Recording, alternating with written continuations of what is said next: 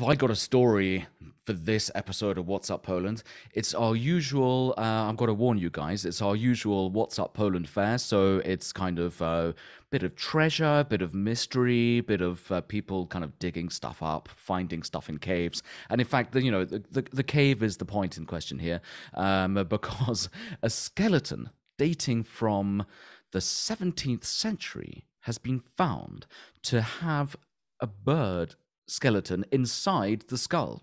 And it turns out that it's a 12 year old Swedish girl from that time. It's completely bizarre.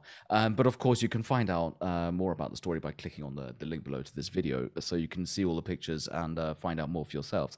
But like the fact that they found something like this and they kind of had to do genetic research and find out where this girl came from. And it turns out that, uh, you know, this girl is dates from the 17th century um, and her uh, she had come over with the army of Swedish invaders uh, during the 1655 Swedish deluge um, Paddy, you've been talking about uh, in your recent um, What's Up uh, Poland videos, and this is another book he wrote, which is called The Deluge, which is about the Swedish invasion of Poland back then.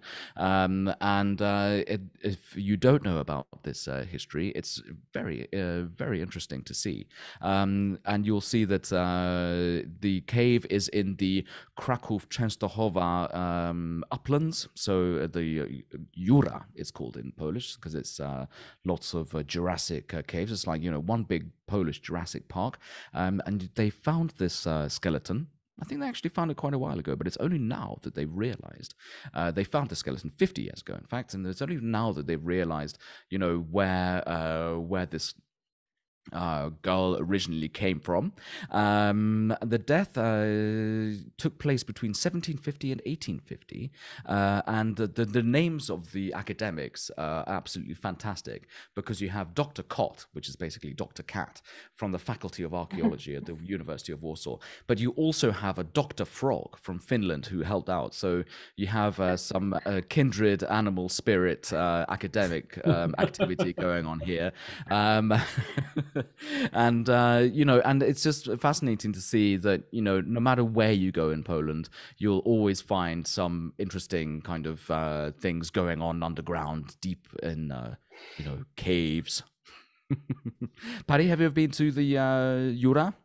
Kraków, uh, uh, uh, I, I Jura Krakowsko-Częstochowska. There you go. That's I haven't. Uh, I'd love to meet Dr. Cat and Dr. Frog to talk about the bird. That, do we know where the bird was in the What's the significance of that? Um, I don't know. I don't think they managed to find out why. Some uh, kind but, of burial rite, maybe. But it must have been a burial rite or something like that. I mean, like uh, there is. I mean, the if you if you look at the article, it does say that there is, you know, there is mystery around uh, why the uh, girl died or how she died, um, and uh, you know, she did have you know malnutrition and all the rest of it. Why she had a bird inside one can only guess but it is you know it is a very you know tempting metaphor to say that you know birds fly and maybe she would have kind of like flown up into the sky or something like that um, but yeah very telling a very telling tale uh, to find you know bones and bones inside bones, bones.